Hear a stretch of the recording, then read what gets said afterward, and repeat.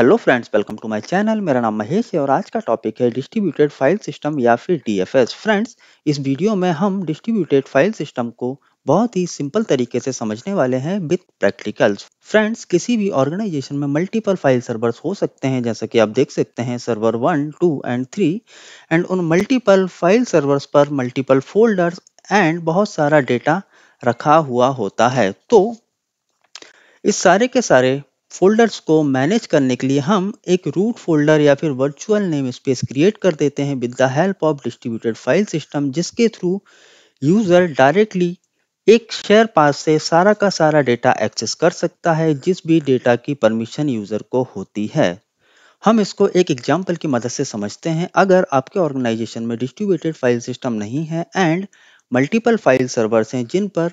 Data रखा हुआ है जिसको यूज़र्स एक्सेस करते हैं तो उस केस में अगर सर्वर वन पर कोई डेटा है एंड क्लाइंट कंप्यूटर उस डेटा को एक्सेस करना चाहेगा तो उस केस में उसको सर्वर वन का IP address slash share folder enter करना होगा देन वो उस पर्टिकुलर डेटा को एक्सेस कर सकता है। इन अ सेम वे अगर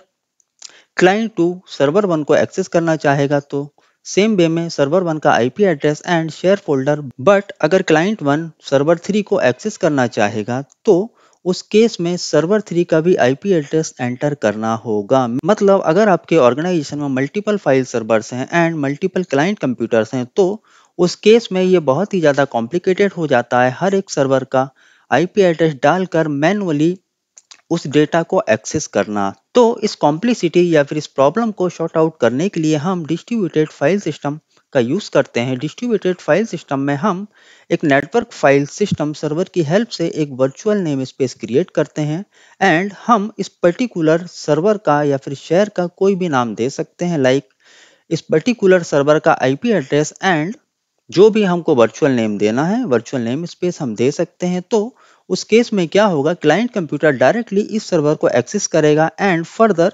इस सर्वर का काम है, डेटा कहाँ से उठाना है एंड यूज़र को जिस चीज़ की परमिशन है, यूज़र को उतने ही फोल्डर्स विजिबल होते हैं। फ्रेंड्स,